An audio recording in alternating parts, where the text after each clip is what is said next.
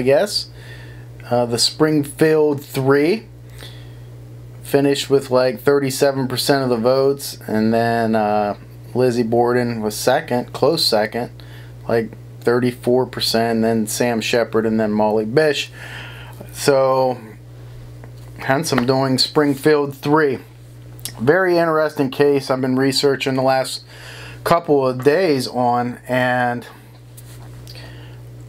although again once you I believe take out all the noise it's fairly easy I guess especially when you have non-biased eyes. That's why it's so important to not go down rabbit holes and look at all these things. For me I just want the facts the crime scene photos if there is a crime scene not too much on suspects, victimology, location, time of day, weather, the geographical area.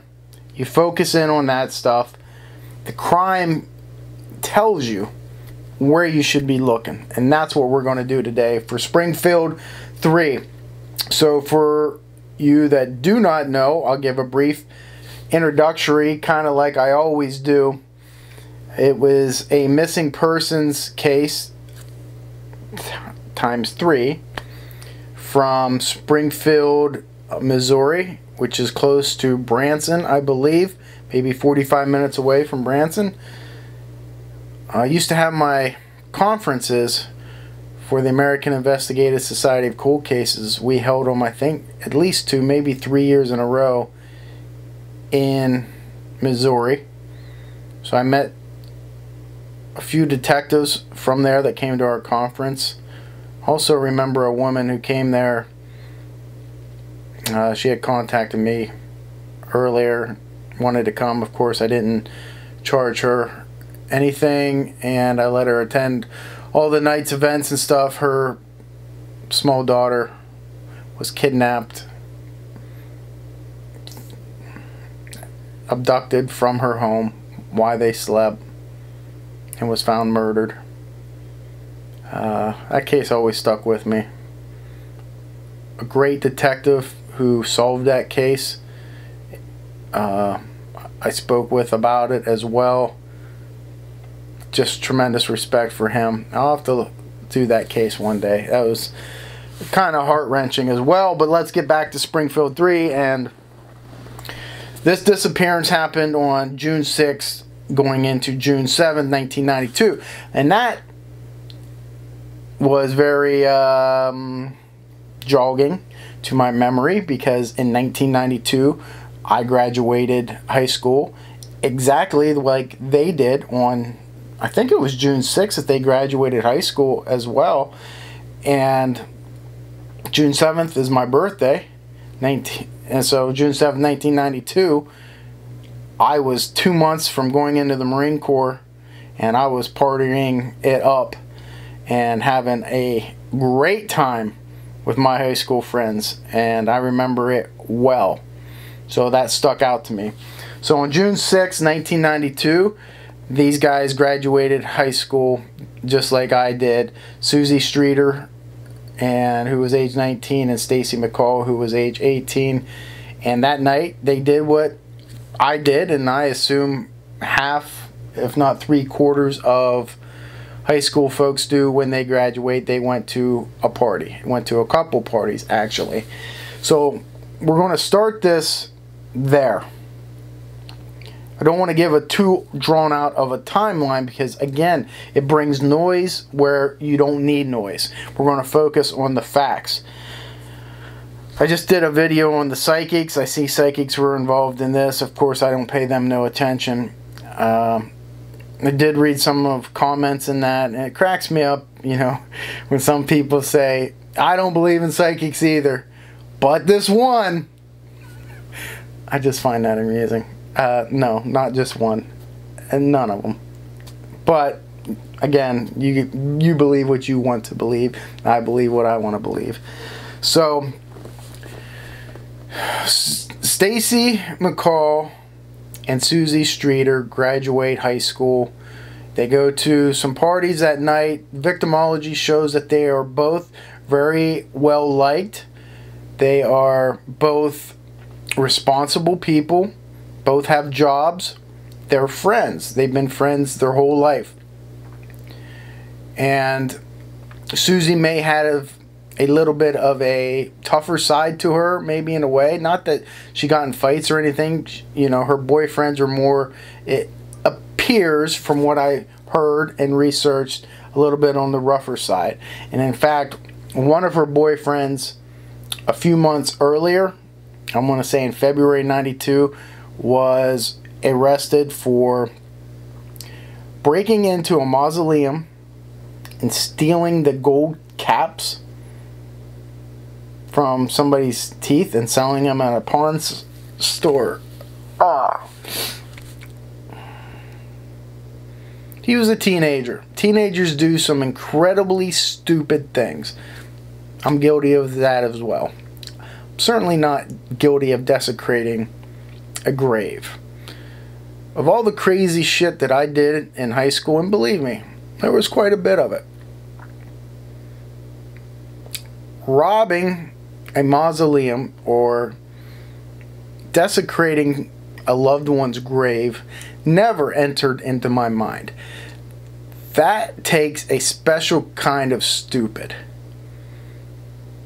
a special kind of ignorance as well. But again, I digress. Suzie Streeter's car was used in the commission of that crime. Now, there's some talk that she didn't know what was going on, uh, but I believe, I want to say she was the driver. So she had to, if she was the driver, she had to have some sort of knowledge about that. Is that motive to end up kidnapping Suzie Streeter, her best friend Stacy, and Suzie's mom? Yeah, I mean, if you're going to break into a mausoleum, take somebody's skull, remove their teeth, yeah, you there's something about you that would make you capable, in my mind, of doing something like this. Suzie Streeter gave up that information. That's how they were able to arrest this individual and his friend. And she was set to testify in court against them when they disappeared. And I'm not sure how long, but it was coming up. That's certainly a motive. And uh, first thing I immediately thought of was the Carrie Culberson case. Remember that one? If you don't remember, go back and check my weeks long uh, look at that Carrie Culberson case where her boyfriend Vince Doan was well arrested of hitting her with a space heater and putting a gash somewhere in her head. He had abused her. He had beat her up. He eventually did kill her, even though her body was never found, and some people don't believe that he did it. Um, the prosecution's motive at trial was Vince silenced her from testifying against him. Now, I don't necessarily believe that. I think Vince killed her out of jealousy and anger and possession that he couldn't control her and that is why. But again, this is what I thought of when I heard about these two idiots that broke into the mausoleum stole the gold fillings. And then when they interviewed the guy, he says, Yeah, I hope those bitches are dead. Again, not a lot of couth there. Special kind of stupid, special kind of ignorance.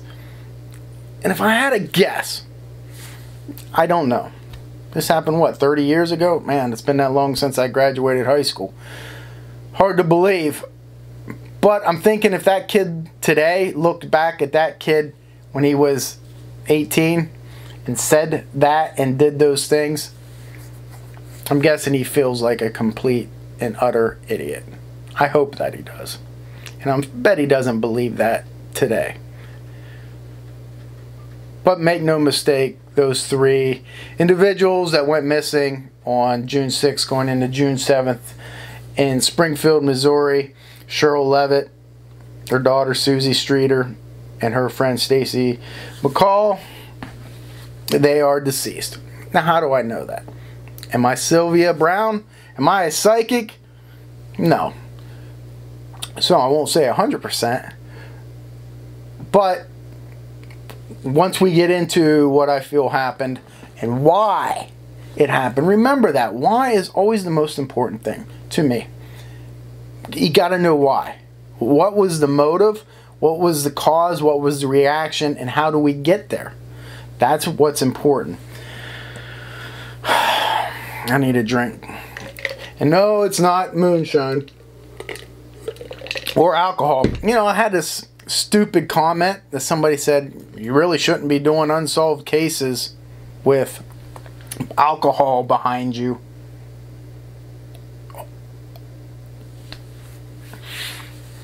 Man, remember when I was talking about special kind of stupid? What does unopened yeah, this is a souvenir. I told you I got that from the FBI when I left their unit. They gave me a bottle of Jack Daniels. It's unopened. Over here, I have a bottle of uh, Chardonnay that Richard Walter from the Vidocq Society gave me, unopened. And I have a bottle of Belle Meade Bourbon, numbered whiskey, unopened, that Karga 7 Pictures and the History Channel gave me after the premiere of The Zodiac Killer. I'm not drinking them. And even if I did, who gives a shit? you know what I mean? What's that have to do anything with unsolved cases? People's idiotic comments. You know what it reminds me of? I, some of you older folks probably seen this, but a lot of younger folks have. It reminds me of Billy Jack. If I could be anybody, I'd probably want to be Billy Jack. Okay, Billy Jack will always wore a denim jacket. He was a half uh, Indian, half white guy, Vietnam War veteran. They had had movies, um, you know, that he made. He was a character, um, not a real person. He wore his Indian hat, and he would just get so frustrated you know, I remember the shot. He had a scene where he beat up some people that were bullying these Native American kids, dumping flour on them, trying to make them white. And he walked in on that, and he's like, "I try to control this violent temper of mine, but sometimes I just go berserk." Billy Jack Tom Laughlin, who played him, I salute you. I understand where you're coming from because I feel that way a lot. Anyhow, let's get to this case, right? I know that's what you're thinking, and I always do, but for some reason I'm just digressing today. Maybe it's the weather. It's horrible weather, rainy, I can't do nothing but cold cases, and so that's what I've been diving into, and I'm crazy over this case because although I think I might have it figured out, there's some loopholes that throw me off. And I will let those loopholes up to you to decide. So, June 6th, two girls go to a couple parties, come home. Okay, this is where this case starts. They were supposed to spend the night in Branson at a hotel. That fell through. They were going to stay at their friend Janelle's place, but she had too many relatives over at her house because it's a party, it's graduation, everybody's having a party. So, Suzie Streeter has her car and um, Stacy McCall has her car. They are going to now. Now this is why I say this. It starts here because at two twenty, I want to say in the morning, a witness, unbiased, says at this party, I heard Suzie say, "Hey, follow me home." To Stacy. Stacy said, "Okay." They leave the party and they go home. In this scene here, or this picture, you see the cars parked there. The first one, um, up front, closer uh, to the house, in that driveway is Suzie's, and the one behind is Stacy's. So that corroborates, number one, that they made it home. And not only did they make it home, but they made it home just as the witness said. Right? Stacy following Suzie. Because if not, the cars would be flip flopped. No. And it also confirms more than likely that they came from that direction. Now, supposedly that's not where Suzie parked her car. Do I take stock in that? No. There has been speculation that there was another car parked in Suzie's spot. That when she got home that night, therefore she didn't park there. I don't believe that. I believe that they came from that direction and they pulled into that side of that circular driveway and parked. If they would have came home from the other direction, I bet Suzie would have parked right behind her mom's car, which was in the carport. Okay? So everything is jiving so far. Now that is the last time that these three women are seen alive. The mom's in the house. The mom had gotten a phone call um, around 9.30 that night and she was redecorating, putting up some wallpaper, refurbishing a dresser of some sort and that's the last time she was heard from. The next day they were supposed to go to a water park with their friends. It never happened. The friend kept calling, nobody answered. She ends up going to the house with her boyfriend. Now, what the boyfriend discovers is very important. Well, what both of them discover. As they're walking up into the porch, they discover glass on the front stoop. That glass, from all intent and purposes, is from a globe that covers the light bulb on the front porch. He doesn't think much of it because he doesn't know anything's up, right? So he sweeps it up. Why he sweeps it up is also very important. The girl is barefoot. The friend is barefoot who goes to check on them. She doesn't want to, you know, step on glass. So he sweeps it up. Remember that, okay? That's going to come back later in my assessment. They enter the house. Nobody's there. While she's in there looking around, phone rings.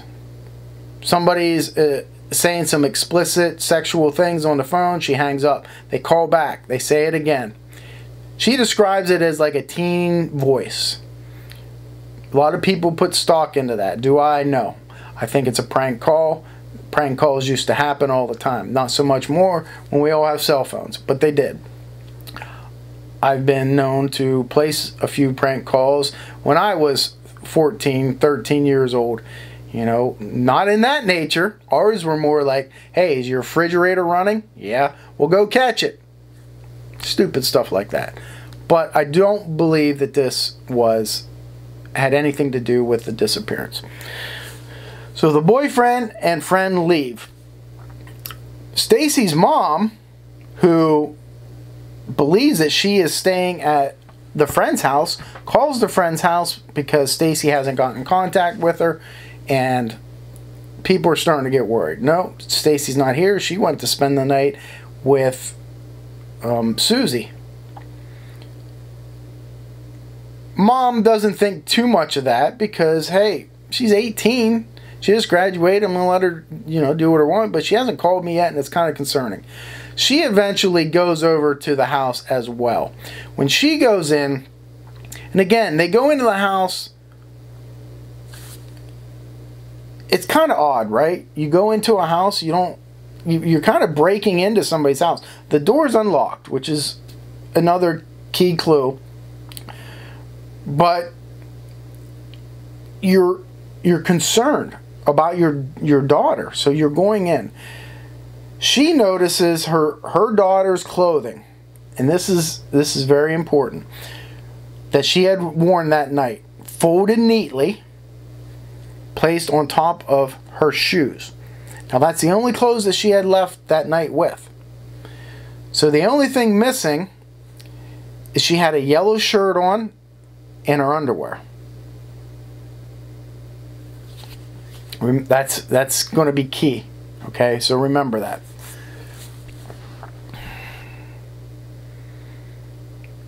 They finally call the police. They notice police police come and, and they're looking around. There's a lot of people in the house now. There's at least 10 people, which, yeah, it destroys evidence. It does these things. But you don't know what you got, right? Hindsight's always 2020. These cops, these people in the house, they're just trying to locate they don't they don't know they have a kidnapping, abduction. They don't know if they left underwear. They don't know nothing.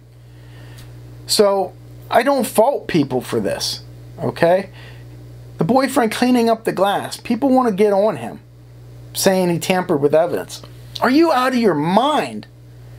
The guy didn't know. Okay? He's doing a good thing.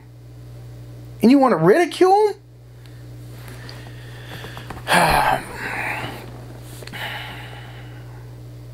So, one of the things that the police notice is a, is something that I can't make sense of. All three girls' purses are in Suzie's room, all together, like lined up. I look at a picture of it, and it doesn't look like it's lined up to me, but they do look like they're all together. I don't know what to make of that. I have a hard time believing that the mom would keep her purse in her daughter's bedroom with the other two purses. Again, some victimology would tell you that. Somebody knows where she would normally keep her purse at. So why are all three of those purses together? I, don't have an answer for that. I can give some guesses, but that that's all they would be. Um, they're gone.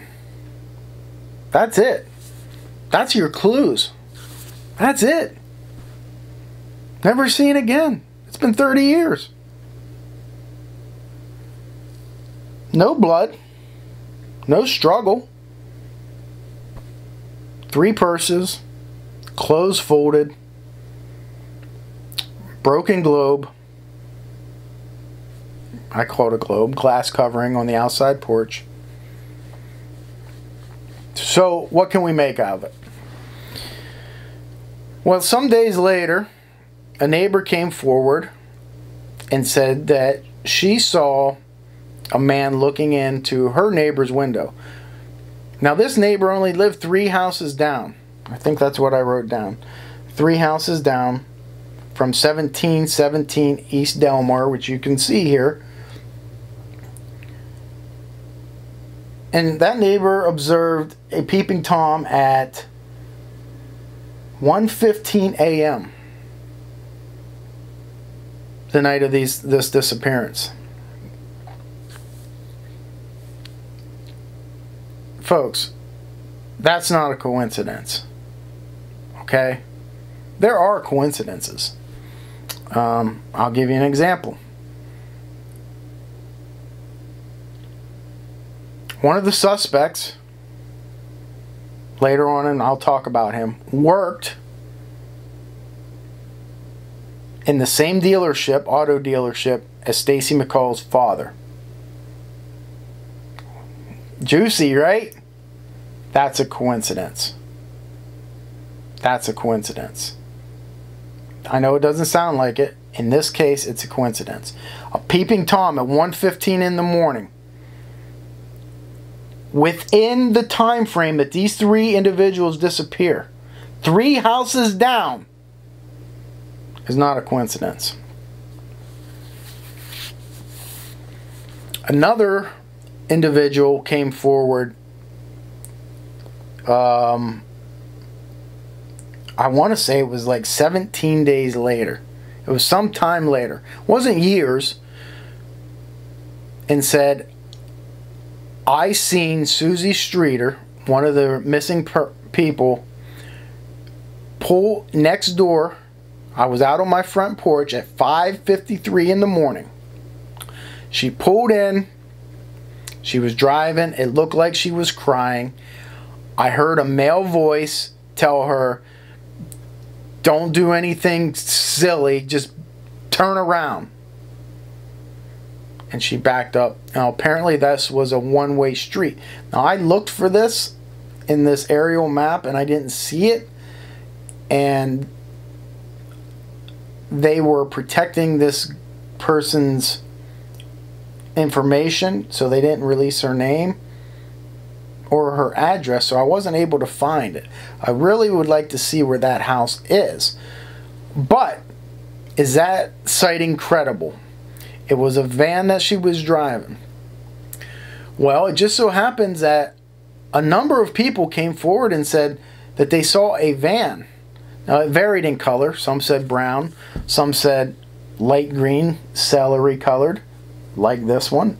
The exact year and model that this witness saw. Um, do I put stock into that? I do. Now, without knowing that witness, see, when you have a witness like that who says they saw something, uh, you want to vet them out. And by vet them, I mean, what's their background? Okay? Now, I've heard attorneys all the time, both prosecutor and defense, say, I wish I wish all my witnesses were nuns or priests. But that's not the case. A lot of times in homicides, shootings, your your witnesses are drug dealers, prostitutes, or people that have a shady past. That's just the way it is. Um, so I would want to know, but that doesn't mean that they that they lie. Okay, let's make that clear. But it gives you kind of a moral compass of which way that compass is going to point, whether you're going to believe them or not. If this person is known to be a liar and throw themselves and wanting to be the center of attention, then you have to look at it a little bit differently.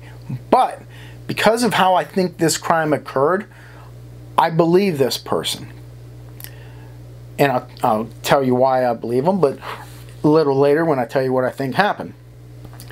So, this happened at 5:53 a.m. That's what this witness remembers, and that fits the time frame. Remember, they went missing between let's say 2:30 in the morning when they got home, and I guess 7:30 when they're not answering the phone calls, or at least uh, noon when the first people showed up. Or, but we can narrow that back further in time because of a piece of evidence, and that is the globe from the light. This light, this porch light, was reportedly on. There's only one reason for that light to be on. That's because something happened at night on that front porch. Not saying a disturbance took place,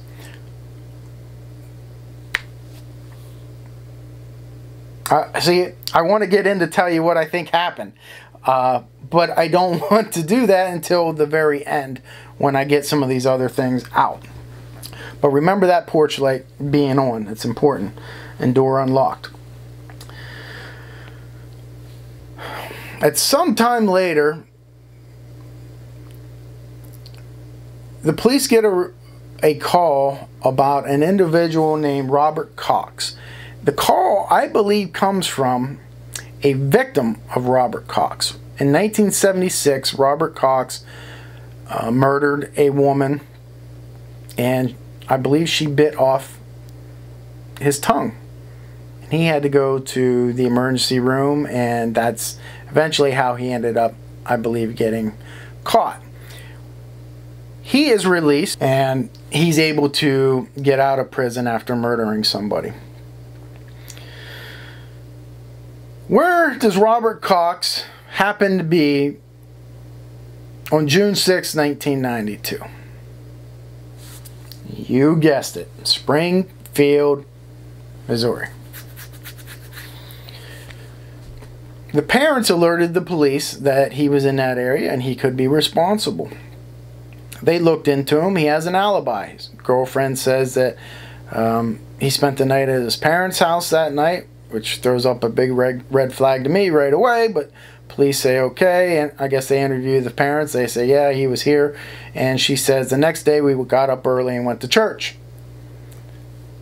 There's, you know, I, I guess if I was the police department, I would have well, I guess they didn't get this message or you know this tip for years later. I would say you go to that church and verify that he was there, but you know so many uh, years later or months, maybe that was impossible because people wouldn't remember.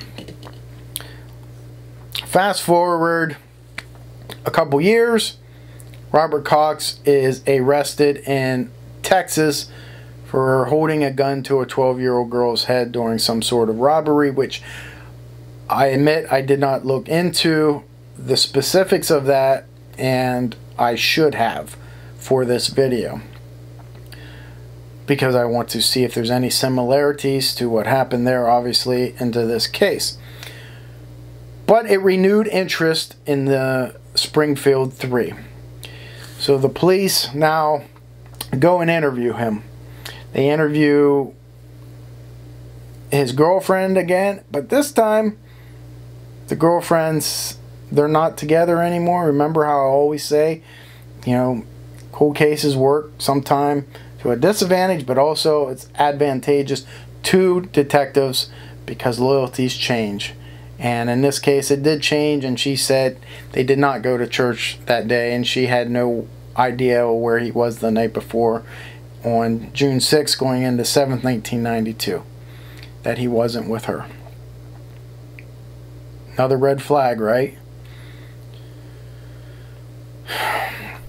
Robert Cox states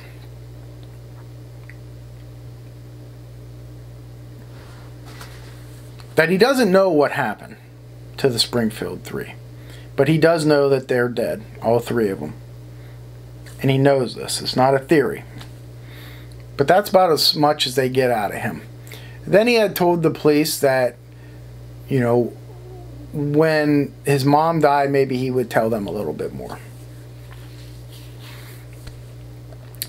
A lot of people say that Robert Cox is just playing around with law enforcement and, you know, keeping them on the hook, kind of like Ted Bundy did, you know.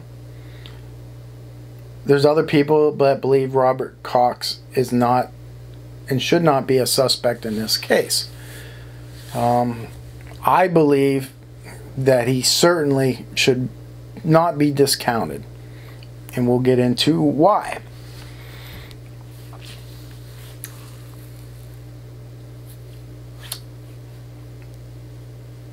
So let me get into why I think, or what I think happened based off the very limited evidence.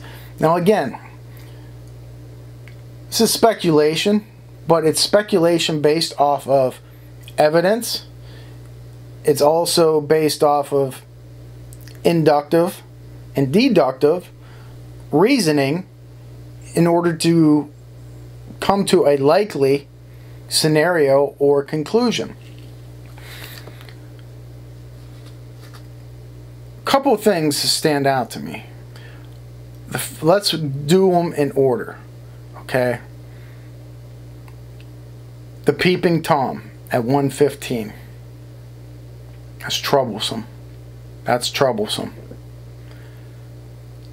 Two, the broken globe that surrounds the light. My initial response to this and the initial thought was the offender broke that going into the house. Now, what do I mean by that? People say, well, the victim, mom, would not answer the phone or, answer the door if somebody knocked. It had to be somebody they know. I, I vehemently disagree with that. If somebody knocks on your door, I don't care if it's 2 in the morning or not. You get up to answer it. You don't lay in bed and cower. Now, all, think of this. It's also graduation night. People partying, kids all over the place. Your kids and her friend, your kid and friend, just came home.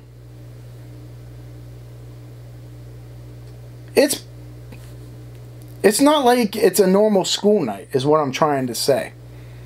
It's a party night. Don't you think that one of the kids could have got up and got the door thinking it's a friend of theirs, something like that, to that extent? Um, so it being somebody they know, no, it's not. I don't believe that at all. I believe this is a complete stranger or an acquaintance of some sort. You know what I mean? Not, nobody that they knew. Nobody that they knew personally that would that they would let in, put it that way. But I initially thought that what happened was the person knocked on the door or the, he tried the door, whatever it was, and when the mom or the daughter, whoever it was that got up to answer the door, they turn the first thing you do. What's the first thing you do, folks? You turn on the outside light at two in the morning, three in the morning, whatever it is, to see who it is. Excuse me. And that's exactly what happened. So they turn on the light, they open up the door, even if it's just a crack. And maybe they didn't even have time to say anything the first thing that the offender does is smashes out that light. But the problem I have with that now is while I'm looking at crime scene, it, you know, I guess you can call it crime scene photos, although they're just photos. Is this photo right here? Now, do you see anything odd about it? This is obviously taken before this incident occurred. What I noticed is there is no globe around that light. Now does that, now I'm sure police honed in on that. I hope that they did. How, I, because of it not being there, I would have to assume that Miss Levitt bought one to put there. But did she? You know, how do we know that that's where it was, the glass was from? I, I guess, uh, I guess I shouldn't think that way. It, it should have, it more than likely did come from there. But could it have just fallen out? I think, see, this is why I talk about when you start thinking too much. Okay? I should just leave it at, hey, this picture caught my attention because there is no globe surrounding that light bulb. I should I should stick with my original original thought is the offender knocked that down. And I will. For this purpose, I he knocks that down, but it does not bust the light. But he can't take the time to knock the light out as well, right? He's got to deal with one person at least, now maybe two three are coming to the door. His object is to get inside. Okay? So if he knocks that light down, he gets inside. What's his reasoning for wanting to get inside so bad? number one, you're you're out on the street, okay? You don't want people to see you. Granted, there's not people walking around probably. It's three in the morning, four in the morning, whatever it is. You want to get inside and control the situation. And I believe the offender did that. What um what takes place inside is that this offender I'm 90% sure I would go that high to say he has a gun. And he is controlling the situation. This offender has a criminal history of robbery, um, possible abduction. What I'm trying to say is he is not a novice to what he's doing. Now, how can I say that? You know, some people just arbitrarily say that because it sounds good. I don't like that. You have to justify it. What I believe is that he look at this picture here. This is a a picture, I think it was in 2007 of the home. And look at the coverage that the, that tree provides compared to this picture, okay, when the leaves are off. So the leaves are on right now. This is in 2000 uh, or 1992, but it's June. So that house is blocked. By all intent and purposes, if that, I'm sure that tree was still there, it provides good cover for an experienced individual who is casing out homes, a peeping Tom, not for the purpose of, of robbery, for the purpose of sexual assault. It's not his first time in that area. Okay? He's in that area because he's comfortable in that area. Look at this overall view. He can park at many different places. This offender had to have driven a vehicle, right? All three of the victims' vehicles are there. So he had to drive. I, I'm guessing he drove a van. Because what better, you know, you're abducting three people. You're not going to do that in a Dodge Dart. I guess you could, but unlikely. He was in that area before. He's looking in houses for potential victims. People that look easy, appeal to him. That's very important in a sexual assault. Okay? These are two very good looking females.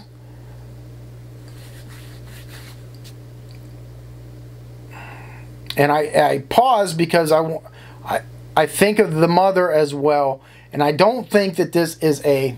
People are trying to figure out who was targeted. Somebody had to be targeted. I'm not so sure. Yes, they were targeted, but not in a stalking type of scenario, if that makes sense. Meaning, he didn't see this girl at Dairy Queen and then graduation, then at a party, and he kept following her until they got home. No. This offender had been in the area looking in homes, trying to find a good victim. He found it, okay? And why I think he's a uh, has a criminal past is because he sees three vehicles in the driveway and it doesn't deter him, folks. It doesn't deter him. A novice, I believe, would have turned around and chose another home or went home and, you know, got rid of the fantasy altogether, take the fantasy another night. It did not deter him. And he goes in. Now remember, I say him. Obviously, it's a male. And something else that I'm um, fairly adamant about is that it was a single offender. Oh, now everybody's going crazy. How could one person, I get this all the time, how could one person do this to multiple people? Folks, we see it time and time again. Okay? Richard Speck controlled what? Eight, nine nurses, all in the area. Okay? BTK killer when he first family that he killed, the Oteros. Single offender, a whole family he controlled with a gun and a knife. There was another one, and I just lost the name of it. I want to say, not the McShay family, McStay, I believe. He uh, killed somebody maybe in Yellowstone or something like that. Three people, a mom, a daughter, and a friend. Just like this. It's very easy, especially when you're an experienced criminal, to control three people with a weapon.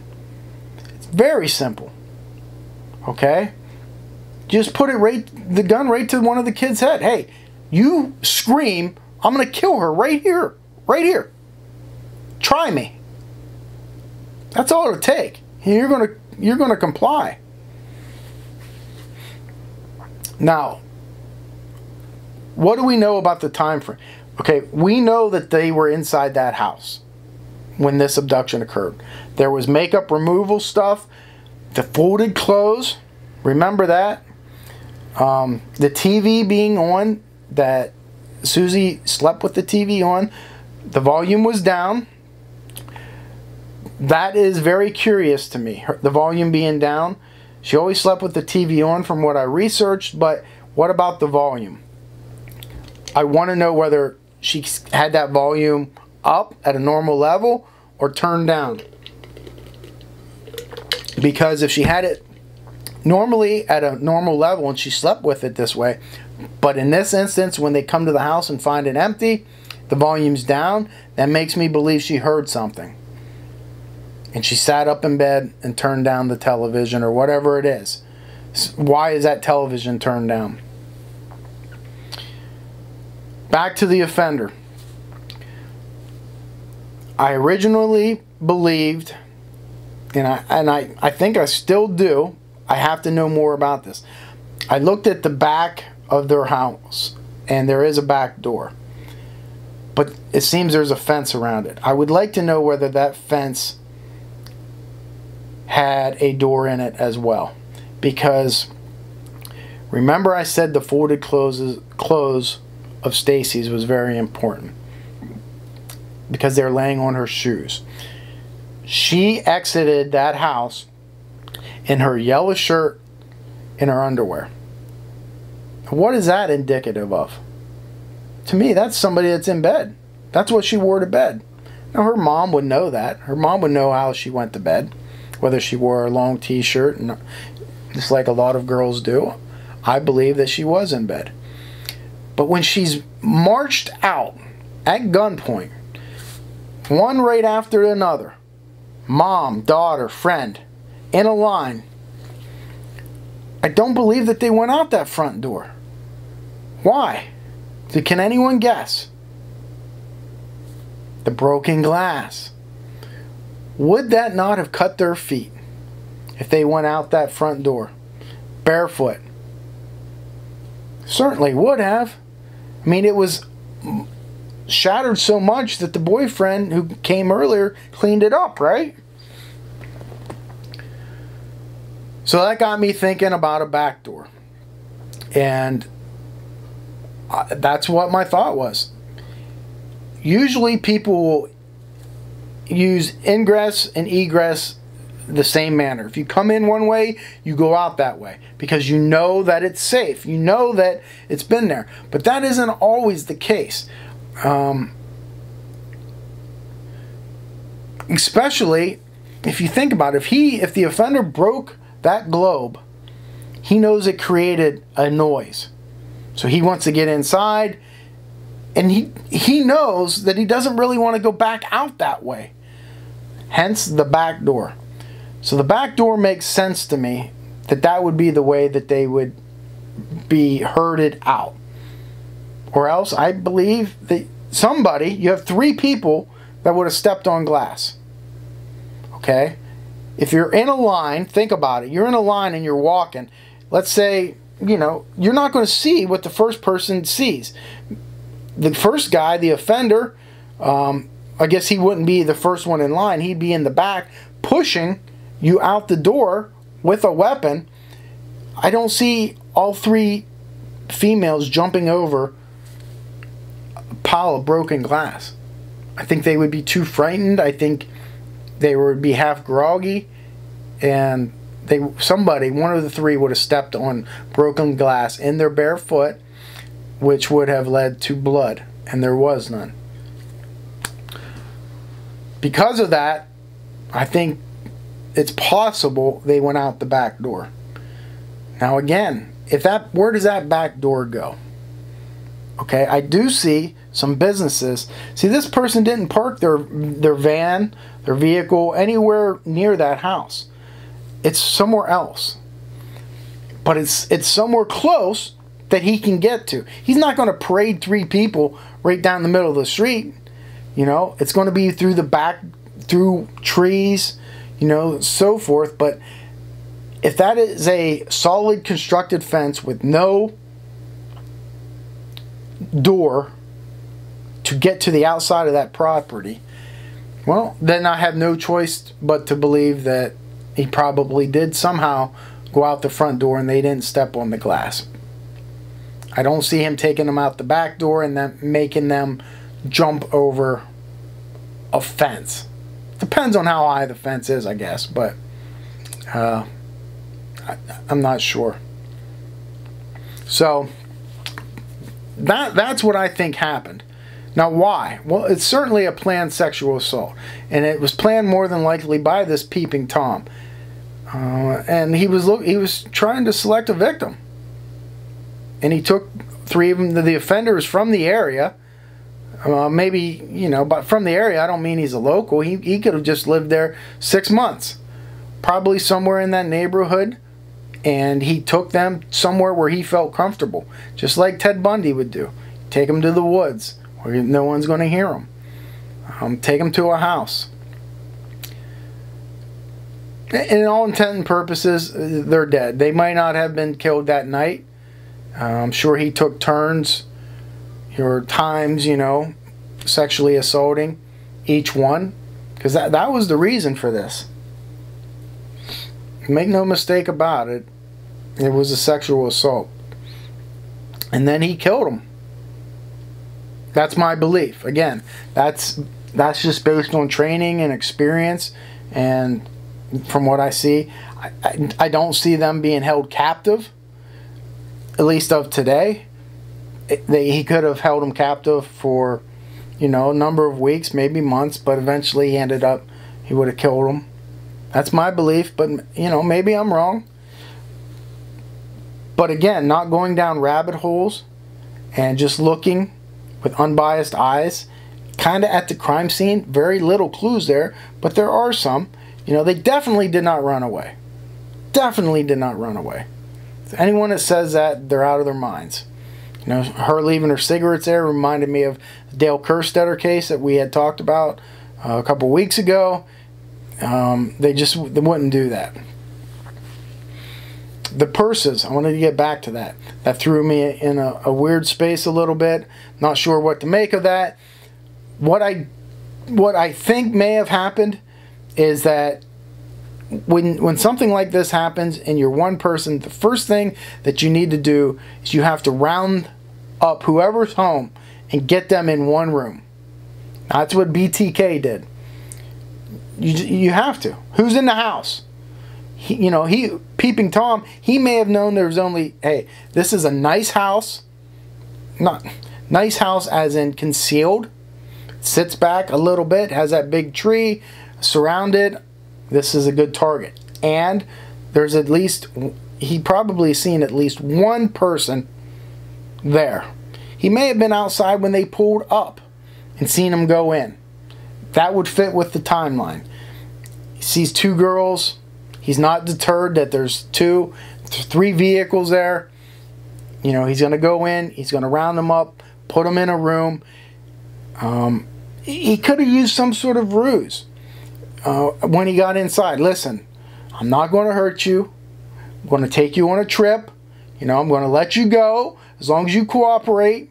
So, you know, I'm going to get your purses, put them here, round up everything, make them feel comfortable, like everything's okay, and then you know, hey, let's go. What about our purses? F the purses. Let's go. It's time. Who knows? Nobody knows what went inside that house, right? Not even these little psychics that think they know everything.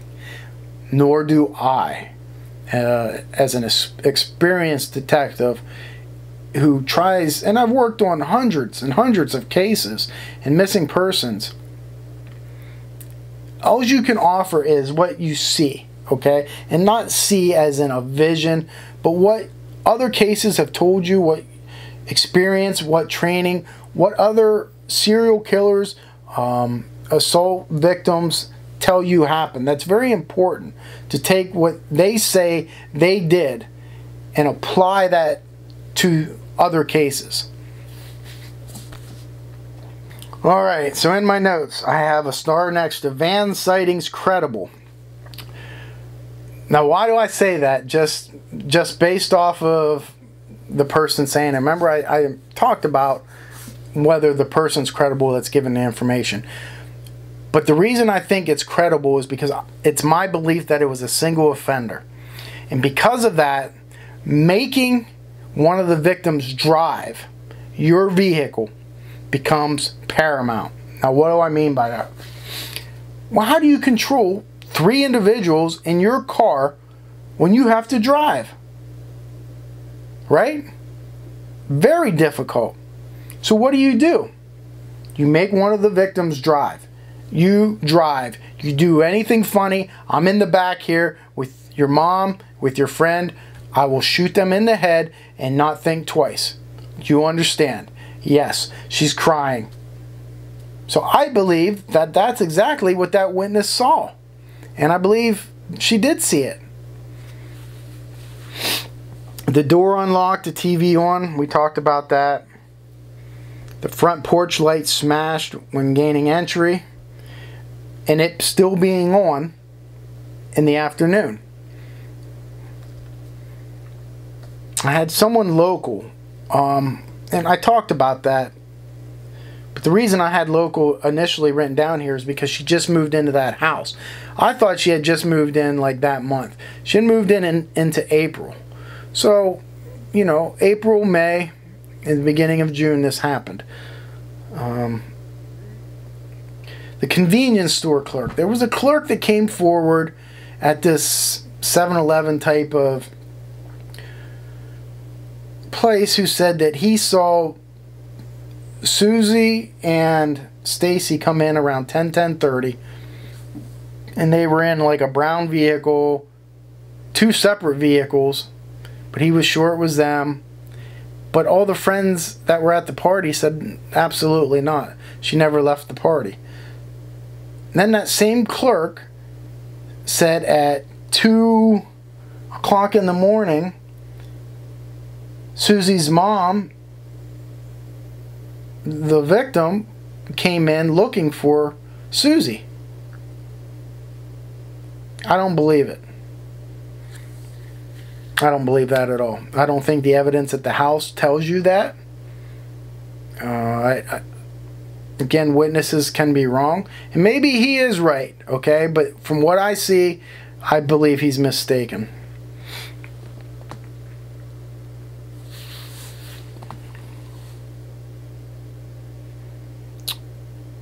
the Stacy wearing the yellow t-shirt and underwear confirmed to me that she was in bed when this happened.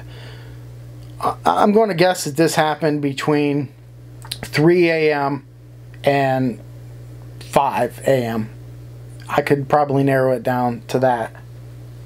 And that fits the driver at 5:53 a.m. being seen by a neighbor. The way the cars are parked, as you can see here, again, confirms that McCall followed Streeter just like the witness said. I believe that. To go a little bit further, I mean, I can see that Suzie Streeter's car is parked a little bit into the grass area on the right side. So it leads me to believe maybe that she could have been intoxicated a little bit, but Maybe she was just a bad driver. It was night. It ain't that far off, but it's just something I noticed. the shoes um, and the stepping on the glass. I said that. Peeping Tom at 1:15 a.m. Three houses down. I think that's paramount. At 2:20 they left the Kirby house to go home. That fits all the timeline. Um, Robert Cox. We'll get back to him. There was information that and I'm not sure where the information came from, but years later they said that they checked a parking garage for the three victims. A news reporter actually hired or brought in somebody to run a ground penetrating radar. Now, if you're not familiar with them, let me tell you a little bit about them because uh, I am familiar with them. I have used them in missing persons searches. So basically, it's like a, say, a, a lawn seeder. You know, something you push in front of you, and it sends out radar under the ground. And if it hits emptiness or shows abnormal movement, by movement I mean movement of the soil, things have been disturbed, it will show that.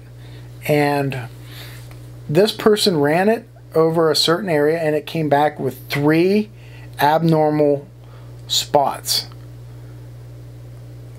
Well, obviously that fits three bodies. Now, the police have ruled this out supposedly because they said that, and I didn't understand this, that that parking garage was under construction during the time that the three went missing. Well, to me, that's the most opportunistic time and best place you know, to put somebody. So they have not dug that area up. Now I know there's a lot of red tape, BS, but you got to dig that out. Okay? It don't take much. You bring in a jackhammer, you grid out a 25, you know, foot wide area. If that's too big, then okay, condense it smaller. Go eight feet. Eight feet by eight feet. Dig it out. And then pour concrete back over it if you find nothing. It's not hard. Okay? You have to do that. And ironically, the name of that parking garage, I think, was Cox. Hmm. Again, don't go down that rabbit hole.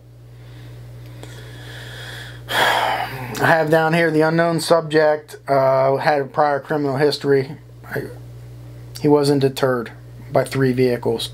And he probably seen the two girls go in. So he's done this before. He wasn't deterred by it. Again, the house was more of a target. I can't say more of a target. The house and the victim were equally important to the offender.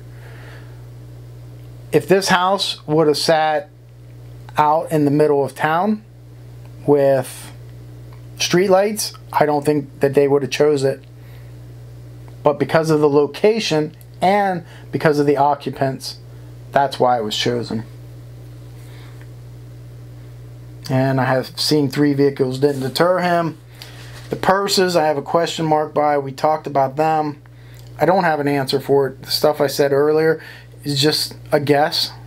Um, Robert Cox, he certainly I think would fit this profile of a single offender who is experienced not only in violence, but I, again, I haven't looked him up. I bet he has some sort of burglary, prowling, loitering charges in his past. That's my guess. He's somebody that I would certainly consider a suspect.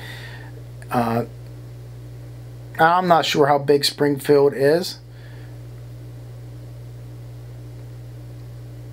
But him being in that area, that alone, regardless of what he said in an interview, he's somebody that I would certainly um, I'd look into a lot further. Those two teenage grave desecrators, no, they they don't fit my uh, my offender profile at all. So I would say no to that. Cox does fit it.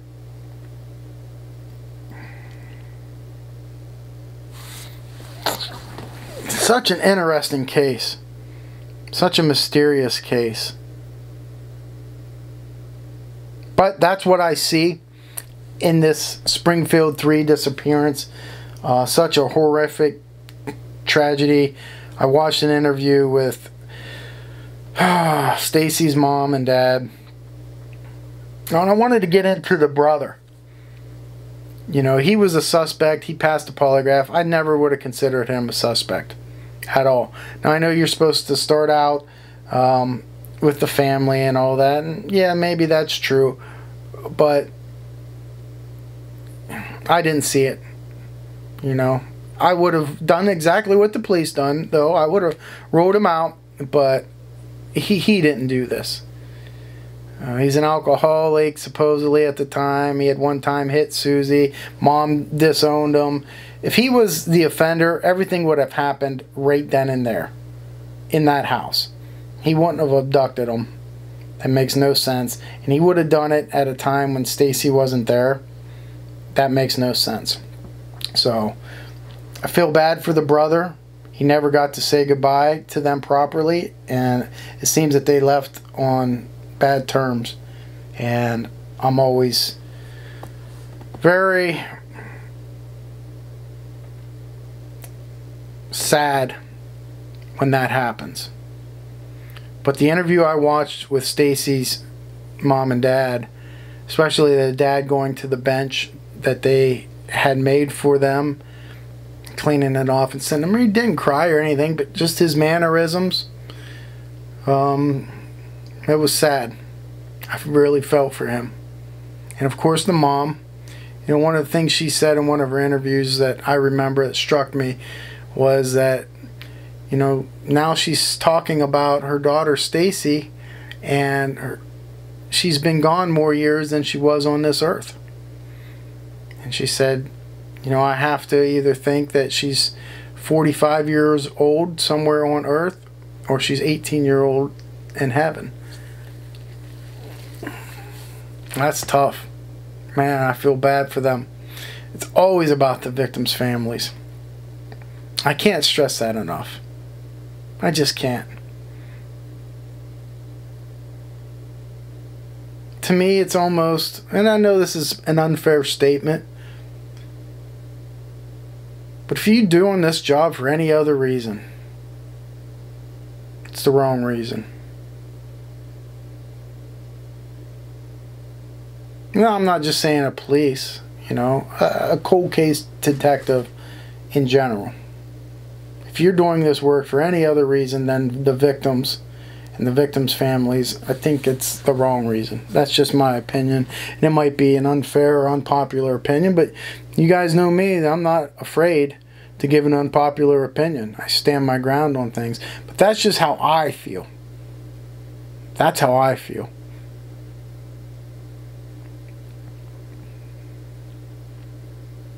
I felt bad for the detective that was talking about this case in one of the interviews. I, he retired detective. I could see he really cared. Tough one, folks. So that's it for Springfield 3. I hope I did the victim's family and the victims some justice in trying to get this out there and give my opinion and hopefully it'll spark some sort of new interest uh, we're closing in on 50,000 subscribers here, all within a year, which I think is uh, pretty amazing. And hopefully, this will get out to some people. Renewed interest. Who knows? Hopefully, this case gets solved because it really needs solved for the victims and the victims' families. So, until next time, as always, Mains out.